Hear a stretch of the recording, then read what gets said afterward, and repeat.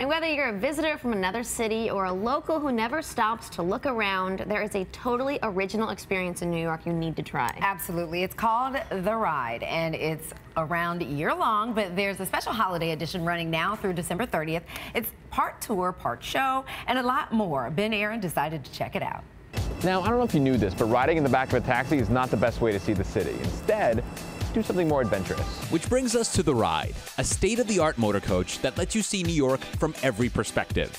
Even this one. And thus my journey began. Our trusty tour guides beginning with some audience participation, including dancing, waving, and then some trivia, a game that I was quite good at. What is unofficially the tallest building in New York Freedom Tower, City? the uh, second tallest, which is a Empire State Building. What is my middle name?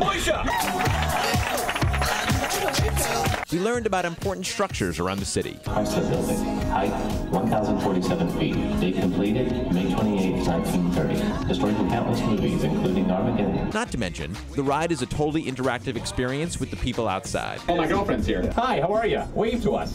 Wave to us, you little naughty little woman, you. I am a huge believer in Soul Glow so much. Asian tourists, give us a peace sign, peace sign. You guys in love? Are you guys dating or are you guys just friends? Thumbs up if you guys are in love. Construction guys, give us a dance. Shake, shake, shake, Sinora, shake your And one of the best parts is throughout the ride, you get to meet an interesting cast of characters, including rappers,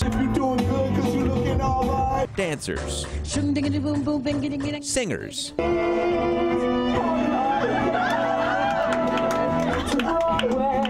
and some random folks. I want to bring him on. On the ride? I'll bring him on. What do you have in your bag? Uh, I've actually got a trumpet. Will you play some trumpet for us?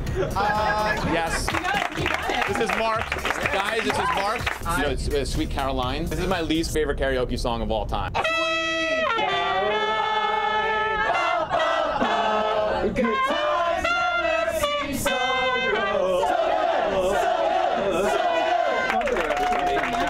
So, as my experience came to an end, I say thank you, The Ride. Thank you for showing me New York in a completely different way. But we can't leave without a big finish.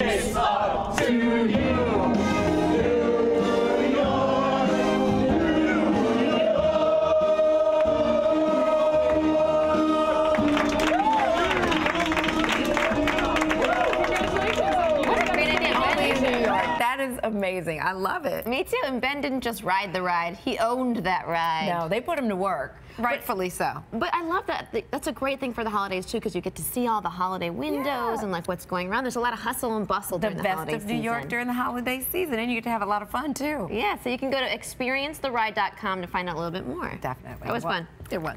Up next, Michael Douglas and Matt Damon, like you've never seen them before. You want to stick around for this.